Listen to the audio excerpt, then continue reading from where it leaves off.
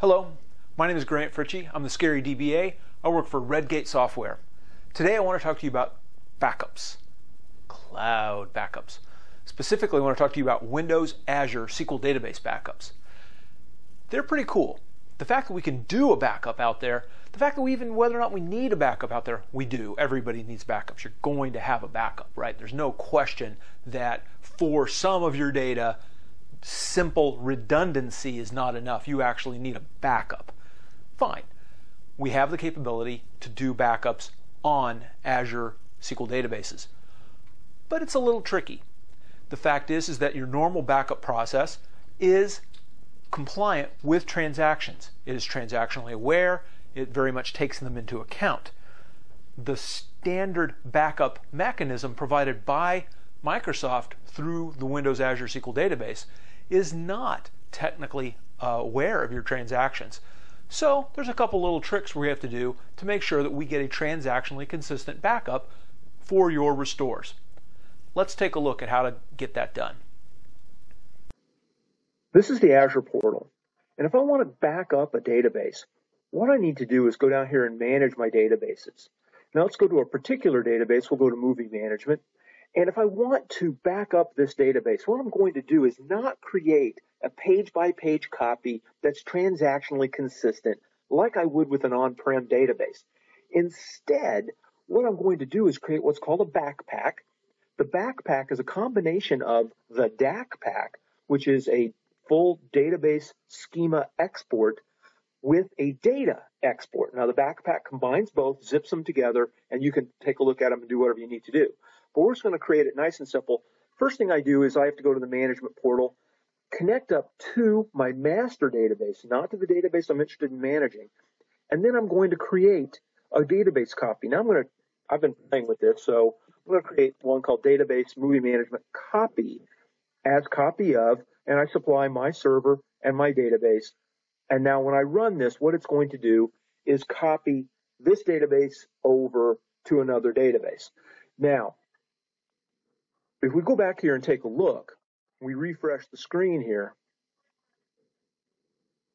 we're going to see whether or not the backup has, the, the copy has completed. Now that may take a little while. It may be very, very quick.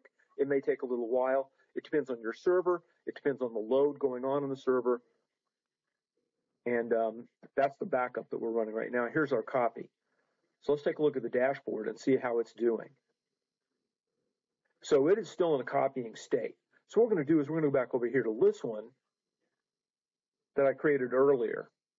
And this is um, just another copy of that same movie management database. And we're going to take advantage of this and we're going to go ahead and use it. What we're going to do is we're going to run an export.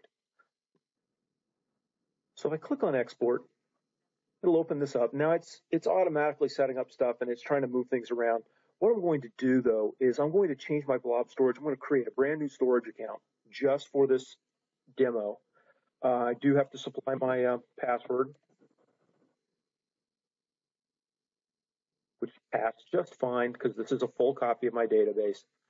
I'm going to go to my next screen, and now it's going to create the storage account. Now I need to give it a name. Uh, since I am the Scary DBA, we'll call it Scary Backup. That works.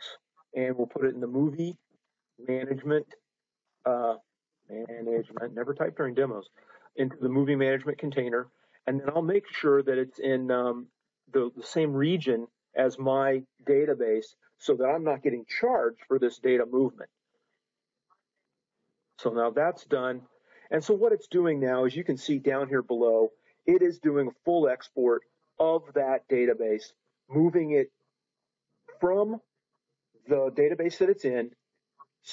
First, it exports the schema, then it exports all of the data, and the reason that we, again, just to repeat, the reason that we did split it off and make a copy of the database was in order to make sure that the data we're exporting is transactionally consistent. So by creating a copy of the database first, we can do all this. So this is running. We can actually go down here and look at the pro uh, progress and see the details and see what's occurring. And it'll take a little while because it's moving the stuff around and it's dependent on the load and the amount of data that we're moving and all the exports, but it'll finish up shortly. Once it finishes, you can go to the storage and you'll be able to see um, the storage that you've got, you know, either I created this earlier one where I did a scary backup and I created a backup there, or um, you'll be able to see the the scary backup that I created just now for you, um, which we can't see anything yet because it's still occurring even now as we speak. So I'm not going to mess with it a whole lot, but you can go in here, check the containers. Oh, look, and the backup has completed while we were waiting. That's excellent. And so now here is my backup, and you can see it. It's a backup of movie management, the way I created it, and um, we can even go in there and take a look at exactly what it is. And there it is. There's my backup. I can retrieve that. I can download it to my local machine. I can take that backup and put, put it into SSMS, or I can reverse the process to import this database back up into my SQL Azure database. In a nutshell, that's how you do backups through Azure um, through through the Azure database. Thanks for watching. My name is Grant Fritchey. I'm the Scary DBA. I work for Redgate Software.